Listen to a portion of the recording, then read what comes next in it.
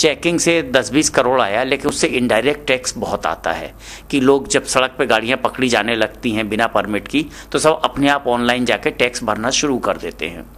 तो हमको करीब डेढ़ सौ, दो सौ करोड़ उससे मिल गया एनफोर्समेंट का डायरेक्ट इनडायरेक्ट और करीब 190 करोड़ हमको बकाया वसूली मिल गई, जो हज़ार 2003 से 2004 से बकाया था।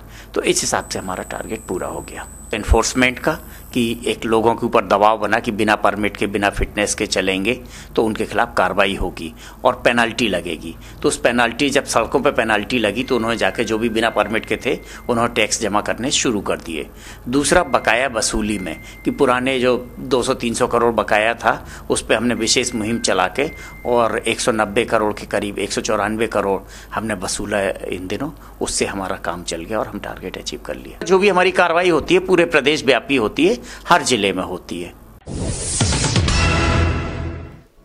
इंडिया फ़र्स्ट को बहुत बहुत शुभकामनाएँ, नया चैनल, खबरों की दुनिया में, नए आयाम स्थापित स्थापित करेगा। और, समाचारों के साथ साथ जो रचनात्मक काम समाज में होते हैं उसको भी प्रकट करने का प्रयास करेगा। मेरी बहुत बहुत शुभकामनाएँ। मुझे चैनल का नाम बहुत अच्छा लगा। India first. मैं भगवान से प्रार्थना करती हूँ कि चैनल भी फ़र्स्ट रहे।